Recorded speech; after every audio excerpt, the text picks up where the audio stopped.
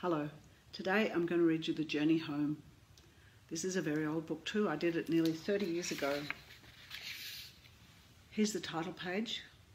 It's dedicated to Rachel and Daniel, who are my niece and nephew. One day, Wild and Woolly dug such a big hole in their sandpit that when they fell into it, they came out at the North Pole. Goodness.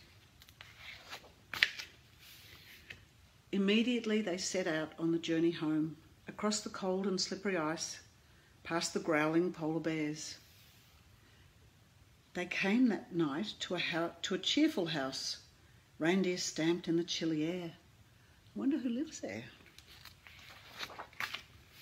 Season's greetings, boomed Father Christmas. Come inside and stay.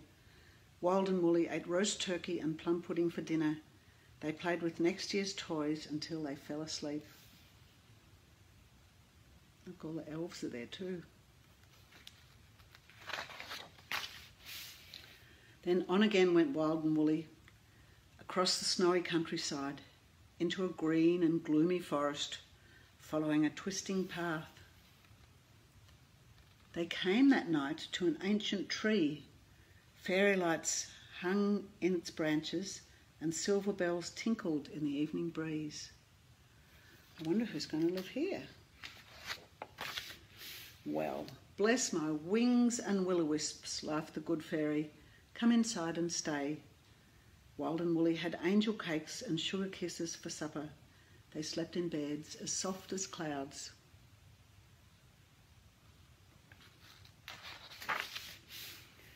Then on again went Wild and Woolly, leaving the forest far behind, over a bridge and down a hillside onto an open valley road.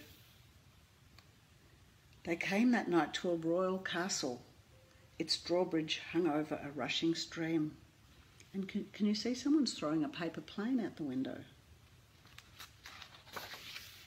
Ah, Lord Wild and Lady Woolly, cried Prince Charming, come inside and stay.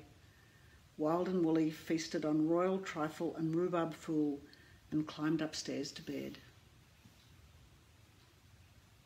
And I guess if you're a prince, you can have a dragon for a pet. Then on again went Wild and Woolly over the wet and soggy marsh, tumbling down the sifting, shifting sand dunes and onto the windy beach.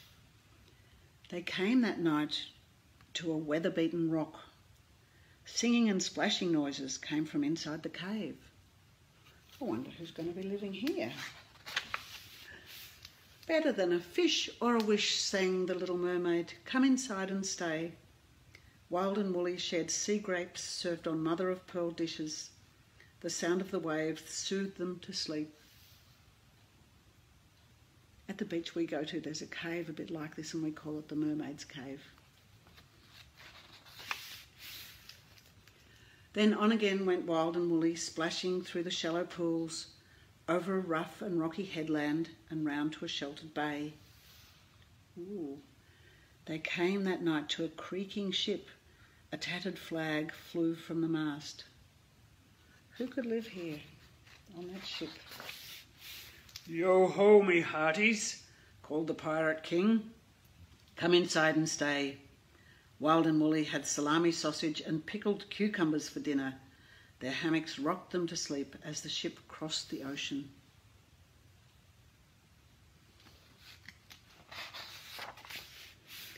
Then on again went Wild and Woolly, up a hill and away from the sea, following some crooked wheel marks into a forest of rustling trees. They came that night to a horse and caravan Smoke curled from the crooked chimney and a crystal ball glowed in the window. Mm, maybe a fortune teller lives here. I knew you were coming, said the gypsy queen. Come inside and stay. Wild and Woolly ate goulash and dumplings for supper. They slept in bunks under patchwork eiderdowns.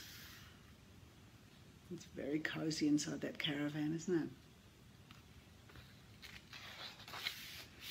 Then on again went Wild and Woolly, running over the rolling hills, through the paddocks and under fences, hurrying on to home. They came that night to a house they knew, A welcoming light shone through the open door. You're home at last, cried their parents. Come inside and stay. Wild and Woolly had mugs of hot chocolate before climbing into their very own beds.